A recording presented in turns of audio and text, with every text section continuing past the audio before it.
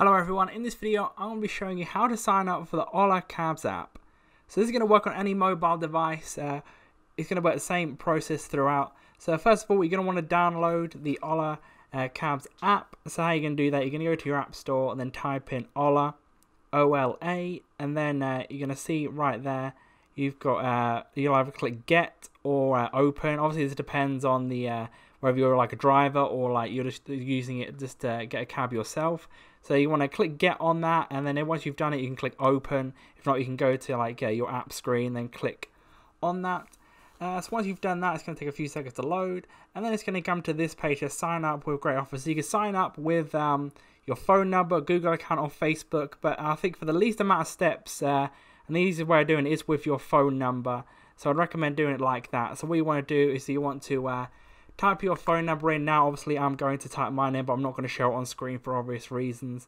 Uh, so once you type that in, uh, you want to type in the whole number, uh, making sure that you've got your correct area code and stuff like that, so it actually goes through. And then it's going to send you a security code. Uh, it should pop up on the screen, and then it will say what the passcode is. I can see what it is there. It, says there. If not, go to your messages, and then you'll be able to see it. Uh, sometimes like with your like potentially like your phone, it will say uh, from messages. It will have like the app that you can just click in there. You can type it in or just click that. Uh, so what you want to do now, enter your details to create the account. So you want to put your uh, name on it. So I'm going to put my name in right now. I'm not going to. I'm going to actually use my uh, real name, but I'm just going to uh, cover it up so you can't see it for obvious reasons.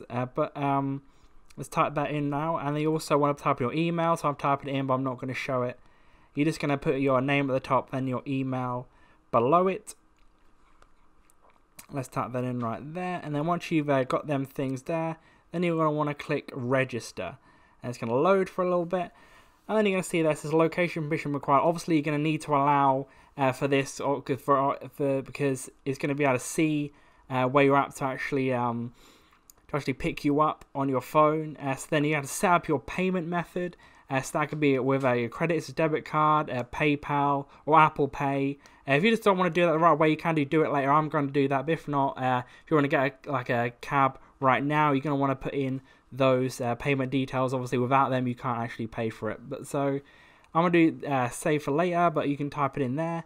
Then once you've done that, uh, you can like confirm your location where you are.